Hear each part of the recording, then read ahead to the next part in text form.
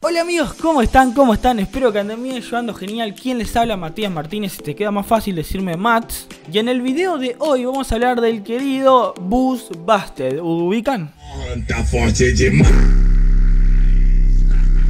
Sí, esas versiones de canciones que hacen con mucho, mucho grave, mucho sub, mucho buffer, como quieran decirle, para que dé una impresión de que tengamos un sonido de que suena de puff. Esto más que nada conocido en el ámbito de los autos, de lo que es tuning, cuando instalan los sonidos, esos altos sonidos, pero en realidad es que se puede usar en cualquier equipo que va a dar esa impresión de que tenemos muchísimos graves. Obviamente que va a depender de la respuesta de frecuencia que tenga tu equipo. Obviamente que si venís en un parlantito así chiquito chino no te va a sonar. Y mucho cuidado con esto porque es muy común de que se arropan parlantes, equipos, puede llegar a pasar. ¿Y por qué? Porque básicamente lo que hacen en este tipo de música es levantarle las frecuencias bajas, sí, es sumarle de una forma u otra, agarrar frecuencias bajas que tenga la canción y uh, sumarlas. Así que en este video vamos a ver tres formas, en realidad dos buenas, porque la primera a mi punto de vista media nefasta, porque es media lógica, pero vamos a ver tres formas de cómo hacer ese famoso bass busted para hacer de que nuestro auto o nuestro equipo se rompa. Así que sin ir más lejos ya vamos con el FL Studio.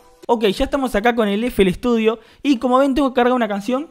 Yo elegí una cumbia, quiero aclarar que esto lo pueden hacer, o sea, con cualquier género los mismos. Yo metí una cumbia acá que está sonando. Eh, voy a poner play. Y yo el uno para Ok, bueno, esta canción se llama Si me tomo una cerveza de los chicos de migrante ahí con Alico. Y bueno, elegí esta para hacer esto. Lo que vamos a hacer es lo siguiente, la primera forma que les iba a decir, obviamente, antes que nada vamos a cargar esto a la consola. Lógicamente, vamos a ponerlo en el canal 10.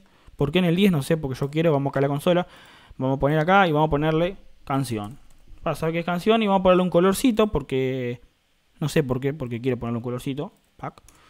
Listo. O sea que si pongo play ahora...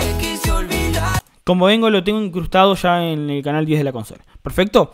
La primera opción para hacer este famoso basbute no es nada más y nada menos que subirle, agarrar un ecualizador, poner un ecualizador y subirle las frecuencias bajas. O sea, no tiene, por eso me parece bastante nefasta.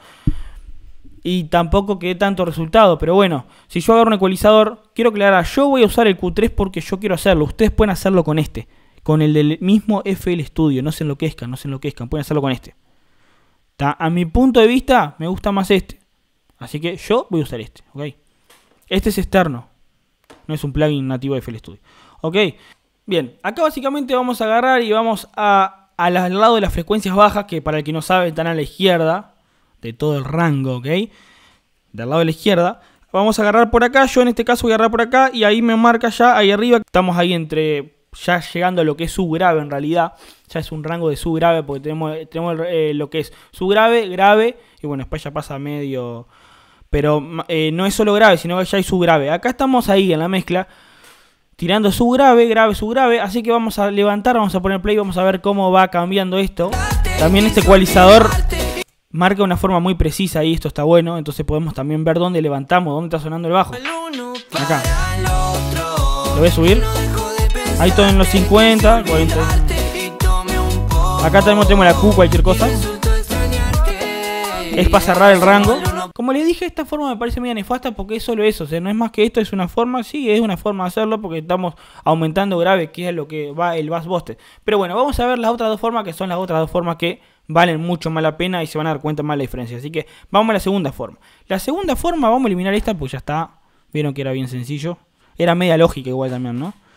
La segunda forma, lo que hacemos es lo siguiente. Duplicamos eh, el audio clip que tenemos acá. Lo duplicamos y lo ponemos abajo. Ok, entonces acá lo que vamos a hacer es lo siguiente. Dijimos que este está en el 10 y el de abajo le voy a dar un make unique para poder darle doble clic y llevarlo a otro canal de la consola. En vez del 10 en el 11, entonces tengo el primero en el 10 y el segundo en el 11. Ok, el primero lo que vamos a hacer es cortarle ciertas frecuencias de grave. Lo vamos a hacer lo siguiente. Dijimos que esto está en el 10 y el otro en el 11. Entonces vamos a ir a la consola. Vamos a abrir un Q2 o sea, vamos a abrir un Q3, perdón. O ustedes un, pueden ser el, del mismo FL Studio. ¿Está? Y lo voy a poner para que se quede acá quietito. Y ahora vamos a ir al 11, que dijimos que está el otro. Y vamos a ponerle lo mismo. Q3. Y también vamos a poner para que se quede quietito acá abajo. Entonces tenemos 10 y 11. ¿Ok? En el 10 lo que voy a hacer es lo siguiente, que es el de arriba. Acá le voy a cortar las frecuencias. Le voy a hacer un low cut. Cortar las frecuencias bajas, básicamente. ¿Hasta cuándo? Bueno, vamos a ir escuchando y a ver hasta cuántos hertz más o menos cortamos. Con los, con los monitores tendría una, una mejor referencia, estoy con los auriculares, igual suenan muy bien estos auriculares, entonces tengo una buena referencia, se puede decir. Ok, ahí lo corté en 90, en 90, ok. Y ahora lo que vamos a hacer con la segunda de abajo es hacer al revés. Lo que vamos a hacer es cortar todas las frecuencias agudas. Entonces venimos acá, le hacemos un high cut, en vez de un low cut, un high cut. Bajamos acá y.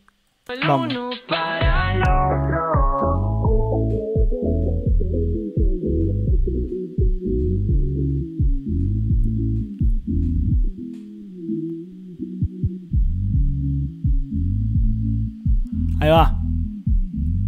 ¿Vieron? Ahora estoy pensando, quizá el corte de arriba lo podemos hacer un poco más, a ver. 99. Bueno, el de arriba ahora lo puse a 99. Y acá lo voy a abrir.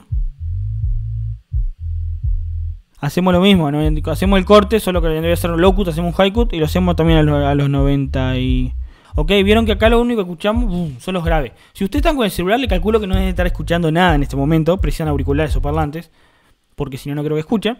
Y ahora lo que vamos a hacer es justamente sumarlos y tener cuidado con los volúmenes. A ver qué pasa si yo sumo esto. Como ven, lo que está pasando acá es que estoy teniendo eh, ahora en un canal tengo las, frecuencias totales menos los graves y en otro tengo solo los graves, ¿ok? Entonces lo que pasa es lo siguiente, si yo tengo el volumen acá, ahí, baje el grave y si lo subo el grave y hago al revés,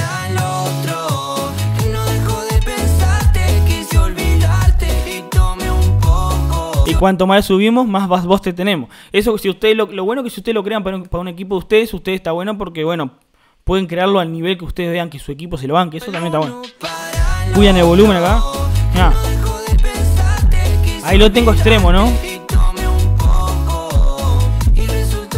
Bueno, ahí, ahí, estaba extremo. Bien, ahora le voy a mostrar la otra forma. Esta ya está. Esta es. Espero que la hayan entendido. Es bastante sencilla. Bien amigos, la tercera opción es básicamente agregarle los instrumentos que tienen frecuencias bajas, o sea, bajo y kick en la mayoría, agregárselo en postproducción. Y, y en la canción original le cortamos la frecuencia, o sea, ¿cómo lo hacemos? Yo no me voy a poner a mostrarlo cómo lo hacemos, pero eh, voy a cortar el video, pero lo que voy a hacer es esto, es agregarle un bajo y agregarle un kick, ¿ok? Y vamos a ver cómo queda. Y a ver si me entienden. Para empezar voy a venir, voy a poner acá abajo, o pongo bass, ya sé que es bajo, a mí me gusta poner bass. Le voy a agregar un, bajo. Voy a usarle el triton, después le hago un par de, de cositas ahí en la mezcla. Por ejemplo este. Y voy al piano roll y bueno, voy a crear el bajo. Ahí va. Y ahora lo que hago en este bajo es lo pongo. Agregamos el bajo, como ya le dije en post, que fue lo que hicimos.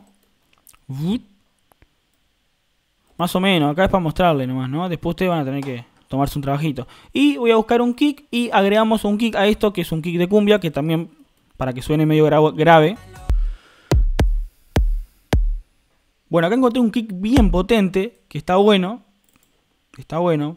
Lo bueno es que en el kick puede poner lo que quieran, no precisa ser de cumbia, ¿no? Porque en realidad si encuentran alguno potente que no sea de cumbia, si la idea es, bueno, es justamente darle presión, también sirve. Bien, y después de que agregamos las dos cosas, los instrumentos que tengan frecuencias bajas, lo que hacemos acá es agarrar y cargar justamente un ecualizador en la canción. Cargamos un ecualizador en la canción. Voy a usar de nuevo el Q3. Y cortamos las frecuencias bajas. Porque ya nosotros las creamos las nuevas frecuencias bajas con el bajo y el kick. Por lo tanto, las matamos de la canción. A ver.